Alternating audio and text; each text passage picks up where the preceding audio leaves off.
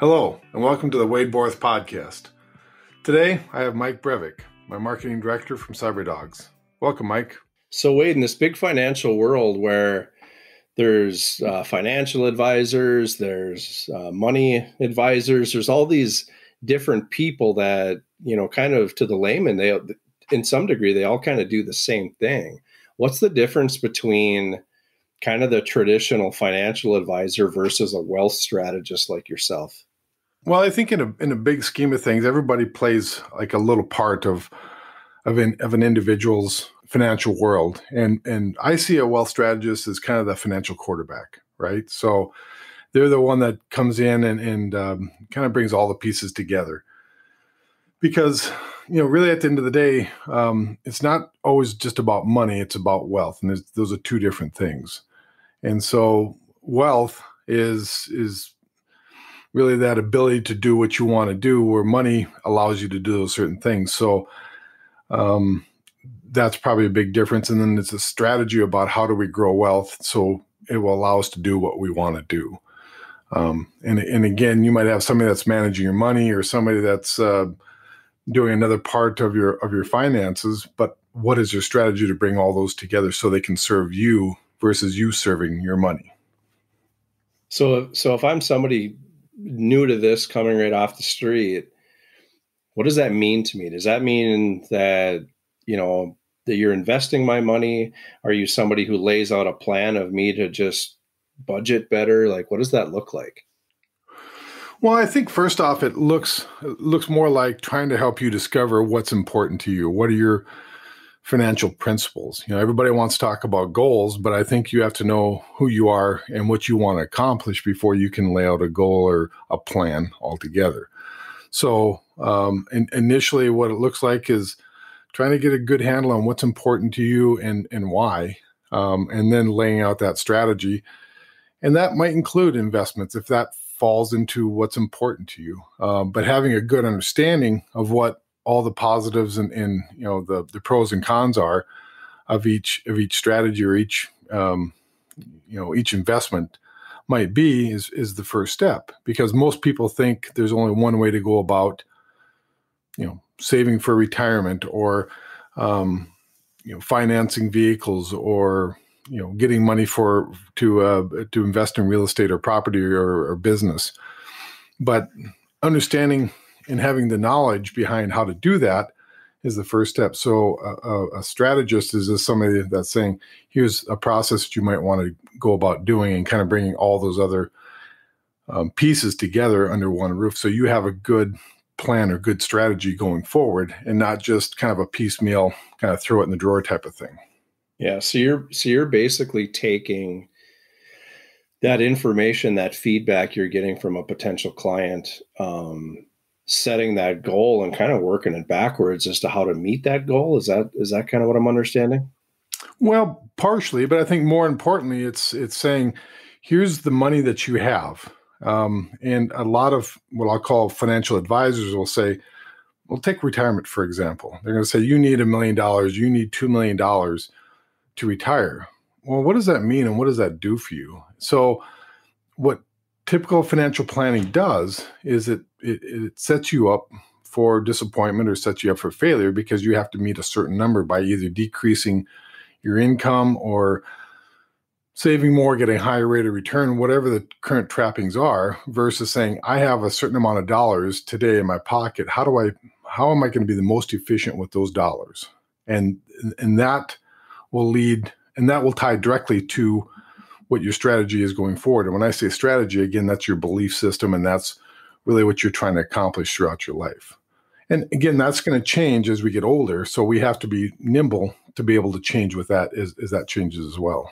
Okay. So somebody who comes to you, it could be all things, but they could be coming to you for, you know, a financial wealth plan from now until they retire or after retirement. It could be all of the above, right? Well, I think it has to really incorporate your, your entire life, and quite frankly, my my practice is is is you know your life uh, throughout your life, and really my focus and my passion is how do we take that intergenerationally. how do we take that to the next generation? So everything you work for, you can pass along. You know, you can live and you can live well on the on the dollars you've accumulated and the dollars you've you've used in those assets, and then say, well, let me pass the the dollars along with the knowledge to that next generation and the generation after that. So now we're building a bunch of families that are you know similar to the Rockefellers. You know, they've done it intergenerationally for over hundred years. Why can't everybody? Why can't that be available to every person out there, where we can take this knowledge and this money, and not have everybody start over from from from, from day one? Uh, you know, after you pass away, then the next generation starts over and say, well, now I got to start over and build my own legacy. Why can't we make it a family legacy? Right, right. So if I'm somebody who is wanting to create a family legacy like that, is that, I mean, what's the best time to start? Am I 30 years old, 20 years old, sooner the better? What is it? Well, you know, the old adage is when was the best time to plant a tree? 30 years ago. When's the second best time? Today. So it really doesn't matter what age you are. Um, it just, you have the desire to, to put yourself forward and say this is this is what I want to do. This is what I want to learn, and this is what I want to pass on to you know for, for myself and for my next generation.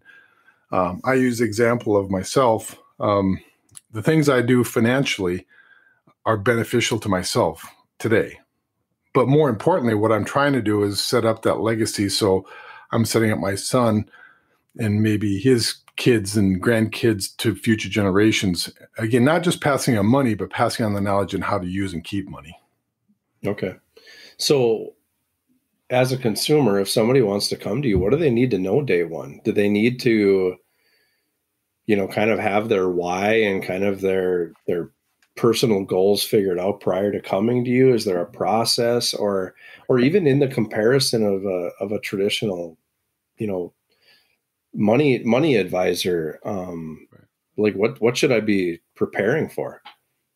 Well i think the first step is you go out to sagewealthstrategy.com take a look at who we are what we do and see if if what our goals and what our beliefs are are in alignment with with what your goals and beliefs are. And so then you know i think really think the first step is to knowing what what your goals and beliefs are what your principles are when it comes to money and when it comes to um, what you want to do with your dollars uh, in t- today and in, in into the future. I think that's that's really the first step. Second step is you know you may not. Most people don't come to me with an exact plan, and I don't think that most people I work with will never have an exact plan because life is going to change. We don't know what 10 days, let alone 10 years or 30 years are going to bring. So we just have to say, how can we be most efficient with the dollars we have today? And how, you know, what's our what's our plan B, plan C, plan D if things change? And things are going to change. I mean, if if nothing else, if what we're learning today and what's going on in today's environment tells us that life is always going to be changing. And so that we have to be prepared for that. And then how are we being prepared? How are we being prepared to take advantage of opportunities and how are we uh, preparing to to insulate ourselves from chaos. Okay, so what what's the what's the load on the client then? So if I come to you and become a client and you know we we go forward with creating a strategy for for myself personally what do i do after that? Or are you reaching out to me periodically? Do we meet up once a month? Like what does that look like? Well you know we can meet up once a month if you're willing to buy me coffee mike. I'm always up for that but uh, you know, realistically, what we have to do is uh, the, the, typical client has to be somebody that wants to be engaged in their own um, in their own future. They have to be more engaged because they have to be more engaged than any one of their advisors because nobody cares more about your future and your financial life than you do. Hopefully. So what, uh, does, so you, what does that mean to be engaged? Well, you have to um, you know, you know a- apply your principles apply things that you're learning go out and educate yourself. Those are all key components. Um, where i get you know some clients that you know they're mad at their advisor their financial advisor because their, their stock portfolio went from $500000 down to $200000 or $300000 whatever it was and they're mad at the advisor. Well what happened to personal responsibility? Shouldn't you be out there saying hey i need to be taking control of that because again, I'm the one that cares more about my money than anybody else cares about it. Yeah. So, so, there's, so there's a responsibility on the on the person themselves to maybe be more dedicated to kind of feeding into what that strategy is. Correct. You have you have to be engaged. You have to be educating yourself. I'm here as your guide. I'm here as the the person that's going to take you to the peaks and the valleys um, as a guide. But ultimately, you're making the final decision. Um, I don't want to take that decision making from you. I think that needs to be made by you because again, you're the one that should be ultimately responsible for your future. I'm I'm here to help. I'm here to give advice and be here to be uh, counsel to my clients and to show them a pathway that they can either choose to take or not to take. But again, it ultimately depends on you to make those decisions and really to educate yourself and to say, yes, I'm ready to move forward and I'm going to make these changes in my life because I see a, a better path. I want certainty in retirement. I want, um, you know, I want some clarity in my future versus all this all this noise that's in the financial world right now that gives us nothing but but static. Yeah, I, I think the hard part for a typical customer is everything you're saying is making sense, but I, I think as you know, somewhat just normal people who are doing their job every day and just kind of going about life, they don't necessarily know what that means. So to not have been through it, it's kind of difficult to wrap your mind around. So can you give me an example of where like where you took a client from the beginning into the process and now they're they're thriving in this and obviously we don't have to name names but just an example of maybe somebody who's walked through this before yeah i've had i've had a number of clients who um, were caught up in the trappings of putting their money away letting somebody else manage it uh, putting their money at risk in the stock market thinking that was the only way to grow wealth um, and when 2008 came along um, you know that money pretty much, you know, I want to say overnight, but within a short period of time,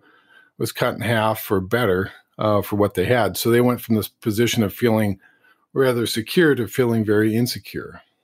And so the emotion there was a lot of fear and anxiety because they didn't have a clue which direction they were headed.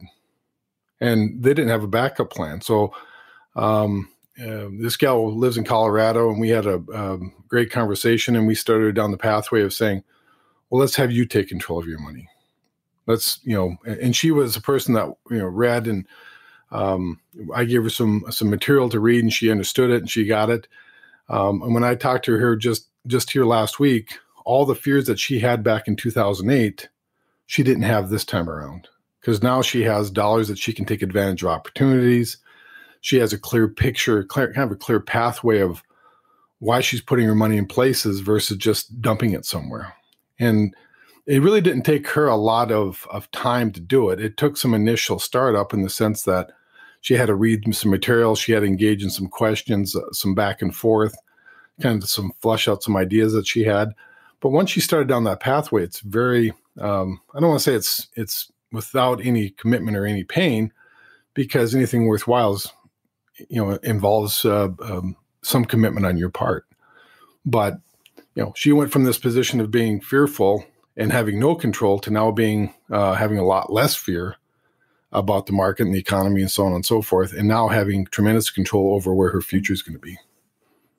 Yeah, so you know, obviously having some exposure to the brand and working with you for the last few years, um, there's a lot of it I get, and there's still some things I don't quite get. But the part that really stands out when you talk about it is you talk about the control. So, like, what does that mean for people? And I think once they figure out what that means and the control and the visibility and almost the the kind of the access that they can have by going more the wealth strategist route, it just seems like a no-brainer to me. I just don't, you know, I just question whether or not people are that aware of the differences in what's out there from an advisement standpoint.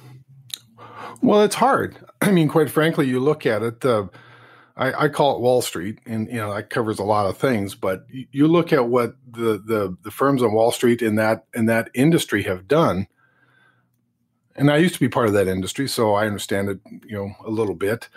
But you look at what they've done. You know, they've created uh, TV channels to promote you know how great Wall Street is. I mean, you've got you got Fox Business, you have uh, MSNBC or uh, um, um, um, CNBC, I should say, that that just promote all the stuff about Wall Street and thinking that's the only place that you can grow and, and, and find wealth. When in all reality, that's that's not the case. There's other places. So there's a lot of noise out there um, that that are distracting people, and they think that they have to go there. And it's about conditioned thinking. You know, I've talked about this with my clients all the time. We have to get beyond the conditioned thinking that somebody is conditioned us to think one way uh, or another. And if we can step back or step away from there, then we're we're ready to say, well, is there a better path, right? So um, when you're looking down, hard at work, doing what you're doing, raising your family, I understand it's difficult. But when you kind of take a step back and say, is, is this the only path, the only way we can go? And you take some time and you work with somebody that's got energy and excitement about finding a different way. Um, I don't think there's a lot of um, there's a lot of commitment or a lot of time that has to be spent to do it. Because if you if you know all that's all that's out there to be known, then you make the right decision. So if you have all the information, you'll make the right decision. The problem is is that we've been fed just one stream of information. Yeah, it's about education, right? Yep. Self education and education. Yep. Yep. So, as a wealth strategist, is this, you know, um, as somebody off the street learning about this, if they come to you, are you guiding them through this? Are you helping them understand this and actually seeing the opposing side? Because, like as as you and I have talked before, most people go get that job, they fill out the 401k form and uh, they're off to the races and they never give it another thought. So to actually have a conversation with somebody like yourself where you're kind of educated and, and shown that like, hey, there are other options. I think that's going to be super foreign to people, but at the same time, you know, I don't know that it's something they're going to pursue without somebody like yourself helping them. Right. well, you know, there there's all the knowledge people need are within themselves. I'm a firm believer that everything you need to know is within you. Uh, my job is just to help start peeling back the layers of that onion. And once that starts to happen, it happens almost organically on itself because now you're going to see that, hey, there is a different way. So you start questioning things in a lot different process or a lot different way. So my job is just really get you get the ball rolling, getting started, and then having that conversation with me on a regular basis about, oh, I heard this, or did you read this? Looking at uh, articles we post, uh, podcasts we have out there. It's all information that, again, don't believe me. All I want you to do is listen and say there might be a different way, and then go do your own investigation, do your own work. Um, and then once you have found that, hey, what Wade's telling me is working, you know, it's doing what it says it's going to do, then now we have that rapport that that's built up. And I was taught a long time ago that education is a process, it's not an event, and it's a process over a lifetime. Quite frankly, it's a process over multiple generations. And again, the information that you need to know is already within you. So if you think about it as a garden that's overgrown with weeds, my job is to come out there and pull out all the weeds so you can see the fruits and vegetables that have been, you know, that you've planted and that you've grown over the years. And so my job is to come and pull those weeds out so you can start to see those fruits of your labor. Okay. Yeah, I think I think that I think that's a great summary of kind of what it looks like and you'd already kind of mentioned it, but I think qualifying yourself as somebody who wants to pursue this and be committed to it um, the first step is to check out your website and make sure that they're educated um, as as to who you are and what you do. Correct? That's correct we want to make sure that those that that work with us uh, have have um, similar alignment to to our beliefs and in, in, our in our thought processes and and um, we'd ask that you, you, you check out our website at sagewealthstrategy.com or send me an email at uh, wade at sagewealthstrategy.com awesome. Sounds good wade. All right. Thanks mike. Yep. Thanks